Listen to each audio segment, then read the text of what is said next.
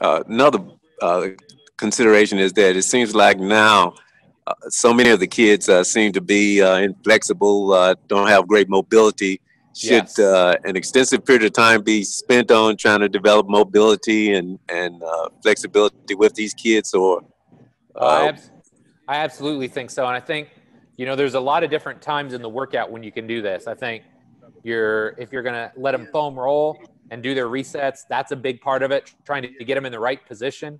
Um, we're always going to take, I would say the first 10 to 15 minutes of our athletic development classes are going to be built towards, you know, those, not just flexibility and mobility, but like rhythm, coordination, you know, a lot of these like skills that I don't want to like sound negative, but you know, a lot of these kids just frankly don't get anymore. They're not getting it in gym class and that sort of thing. So we kind of use that as a time to build some of those skills like skipping, you know, just the coordination and the rhythm that they don't have. But absolutely. So we're going to work on it there in like the, the resets and the readiness portion.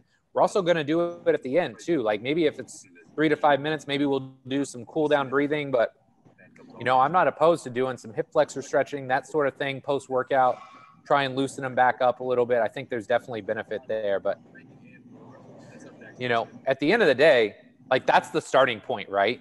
If a kid doesn't have just the, the requisite mobility and stability to do the stuff that we need, then we've got to build that first because otherwise we're just building this this really big robust engine on a really shoddy frame